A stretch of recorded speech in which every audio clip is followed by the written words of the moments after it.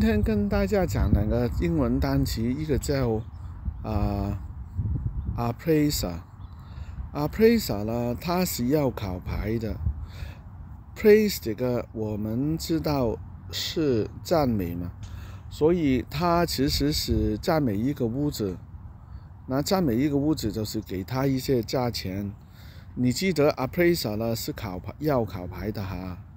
那可是 assessor 呢？A S S E S S O R 咯，它就不需要考牌的啊！你看它有那么多 S 了，就好像很多钱的，所以它的人工呢是市政府给的啊。他既然是市政府的人了，他就什么都不用考啦，当官嘛。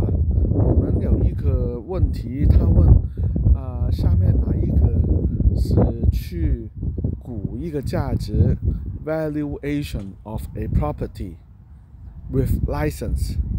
那如果 valuation a property with a license，它呢就是 appraiser 这个啦。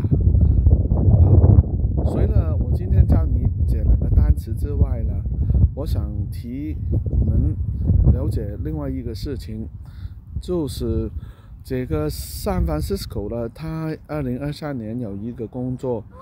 如果你有三年的工作经验，啊，或者是你学历够的话呢，他也可以代替你的经验。为什么我们鼓励身边的人去把地产牌考了？就是因为你考过了地产牌，你可以用这个地产牌去学多一些真真正正有用的经验之后，以后就见。那些市政府的低层的容易的工作了，也会马到马到工程啊，马到工程。希望大家呢尽快的把自己的英文单词提高，自己尽量把自己的学历、经验，还有我们呃可以拿到的牌。就尽快的拿，有什么问题可以找我。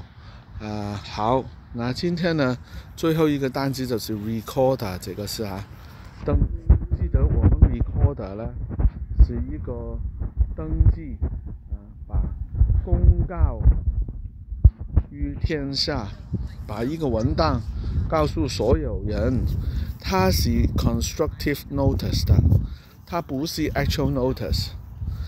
什么叫 constructive notice 呢？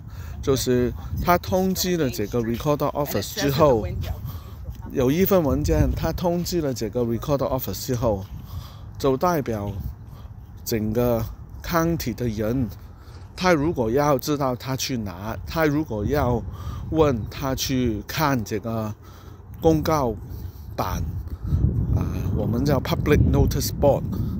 所以，这一个有三个 party，一个是公告的人，第二就是政府机构，第三就是 public。constructive notice 是三部分的。不了解的话，请你发一个微信给我。我们每天多学一点。